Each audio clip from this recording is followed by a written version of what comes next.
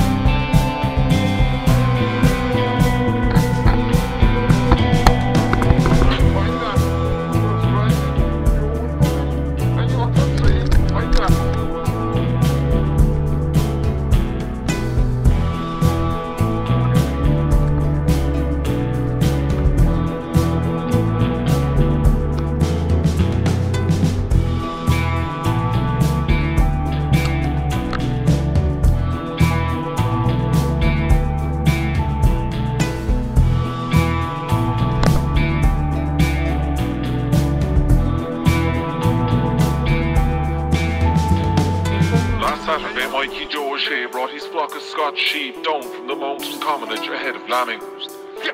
He discovered over 50 were missing, allowing for a number of deaths and strays. Mikey is convinced over 45 sheep have been stolen. Stolen. Stolen.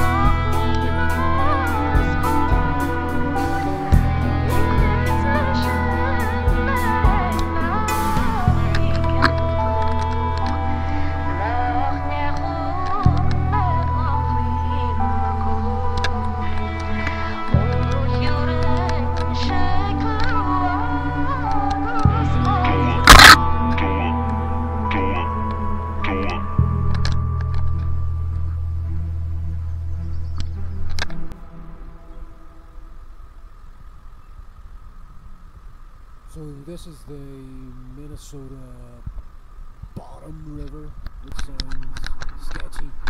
It's a lot of fun. And as you can see, it's right down there, the Minnesota River. A lot of sketchy like and. You could end up in the river. Lovely views, lovely views.